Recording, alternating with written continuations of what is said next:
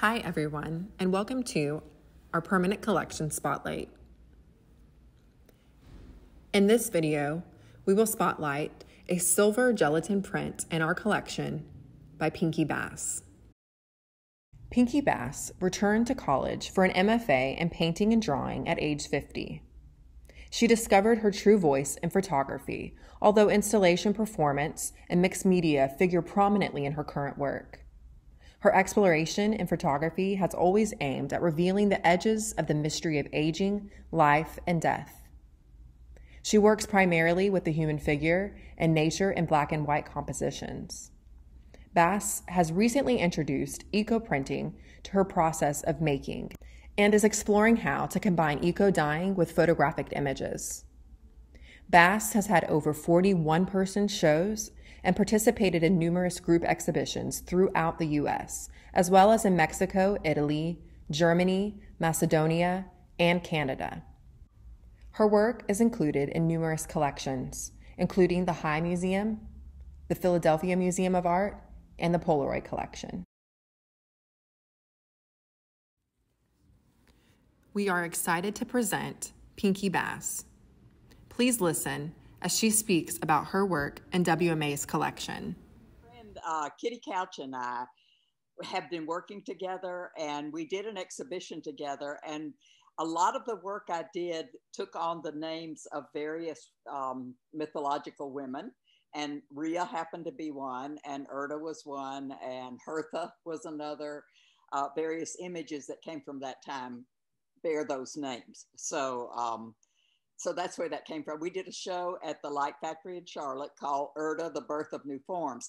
It was the first time we had put together her ceramic work and my uh, photography, which was a really interesting experience. We actually projected my images onto some of her large clay pieces and I, I fixed them with liquid emulsion, which was a big deal, but it was, I mean, it was really fun. It was good. So, anyway, but Kitty is very much a part of this series and also really a part of my whole photography.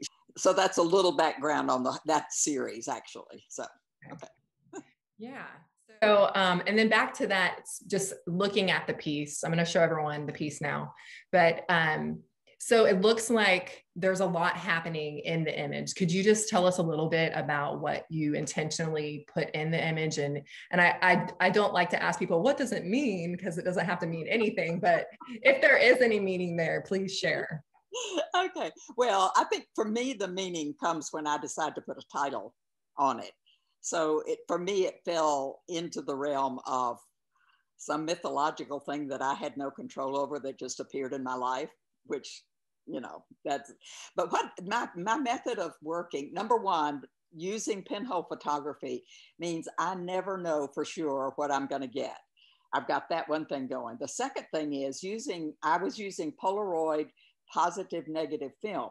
So with positive negative positive negative that are positive negative film it I, I can do all kinds of tricks. I can play with it. So i get an immediate image that comes out of the camera, but then I can manipulate it and do other things with it. And one of the things early on I began doing, and it's it is evident in this particular piece, was solarizing the negative. I would open it up before you were supposed to. And so it would solarize the negative, and that way I would always get the same print when I printed from the negative rather than having to do the solarization in the darkroom. So though particularly the pinhole and the Polaroid were two of the things that were very important to me in my process and became just amazing. It was the way I worked uh, when I could manage it. It was, it was, I mean, I, I would make, I don't know, I have a, a, a camera called the Bible with two points of view, and I would photograph the form, the nude form indoors because I didn't want to, I'm, you know, I'm, I wasn't really an exhibitionist. On the other hand, I, I wanted outdoor, I wanted the relation to nature to show. So I would do one, one image would be indoors with the figure, the, ex, the other one would be outdoors with images of nature and they crossed over because of the way the camera was constructed. So this whole idea of playing with, with the figure in nature and that was also important to Kitty. That was one of the reasons these images became very strong for us was working on the, from that perspective and on that image, that idea. So. Okay, yeah, and, that was actually one of my questions, which I think you kind of touched on throughout the conversation. Was where were you as an artist at that point in that series? Because I feel like there's a lot happening. Yeah. Um, so well, one, to me, one of the uh, that particular image is, has an extra kind of kick to it because it was after Hugo had come into the South Carolina uh, coast and devastated McClellanville, South Carolina, where my former professor and another good friends, a lot of people, friends, actually lived on that coast. So after that event, Kitty and I got together and actually went to McClellanville and spent several weeks photographing the human form in nature and particularly the detritus that comes after a hurricane. So the what in the image what appears to be I don't know, like roots or something coming out of my head, basically probably our roots, but they were, they were, it was an image that I was able, because of the Polaroid, able to double expose on with my, with my face.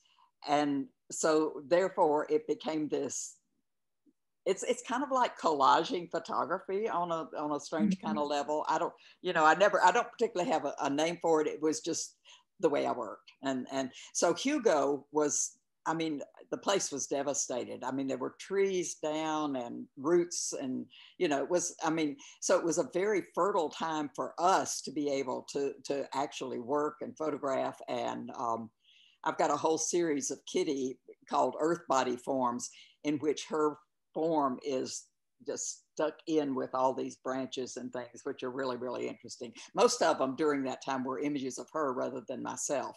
But this one, just, I, you know, I never know. And this one came out. So it was like, yay.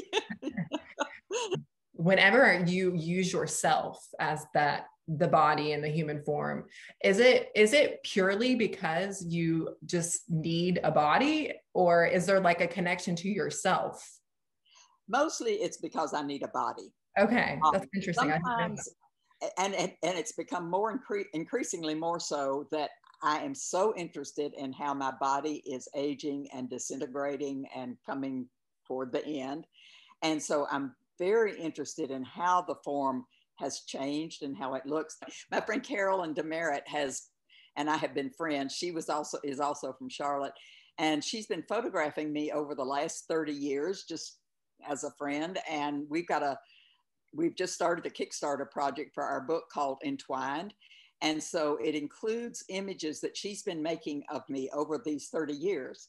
And um, seeing how my body trans, trans, it doesn't feel like me when I look at the images. They're just, they're forms. And, you know, to me, the beauty of, of some of the stuff that I think people would be, quote, embarrassed to show to me are beautiful because they're interesting and they show the, the progress of things. But um, anyway, and, and at some point she was generous enough to let me stitch on her photographs. So it's a, the book is a combination of her photographs of me and me stitching on, on images of the human body, mostly internal organs and, and things that show there. So yeah. Well, uh, thank you so much for uh, taking some time to chat with us about your piece in the collection. And um, I hope that you have a great day. Thank you so much. And